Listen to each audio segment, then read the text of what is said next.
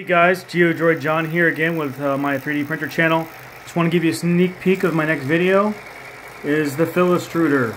First attempts at waking it up.